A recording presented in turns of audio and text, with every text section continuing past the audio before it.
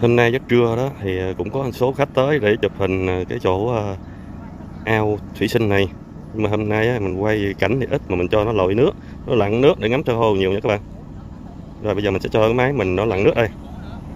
Quan cảnh của cái hồ thủy sinh các bạn, đứng trên đây không đẹp đâu, các bạn hãy xuống, bước xuống dưới đi. Điều kỳ diệu sẽ xuất hiện nha.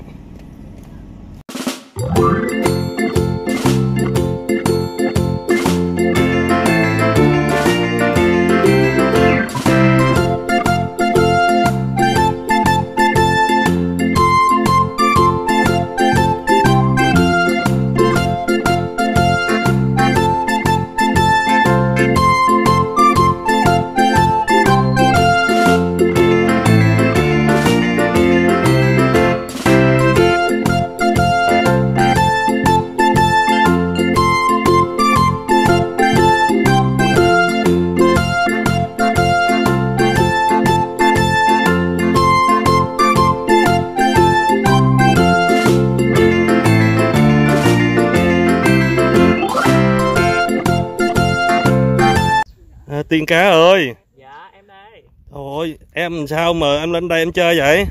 Thấy mọi người đông vô á Em mới lên đi ngồi nữa. Vậy hả? Trời ơi, giờ là tiên cá này cũng ham vui ghê ha. Khi nào gì á? Dạ chứ chú về à. Dạ hả? Dạ em về vườn cà la nữa mà. Trời ơi tiên cá cũng phá trà là nữa các bạn ơi. Rồi chào tiên cá nha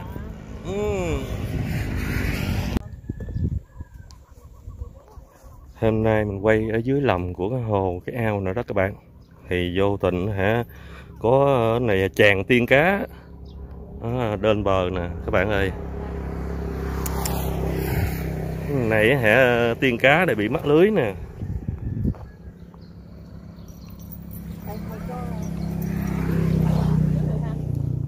Này vì nghệ thuật mà tạo ra những cái ờ, bức ảnh đẹp nè các bạn. Mà tiên cá này ngộ lắm nha các bạn. Tiên cá này không có mặc bikini không có không có mà à, vỏ sò gì hết trơn á. Cái bộ đồ à, ti- đuôi tiên cá này nhiêu em? Dạ cái này em tự làm á. Trời ơi giỏi vậy hả? Dạ vâng.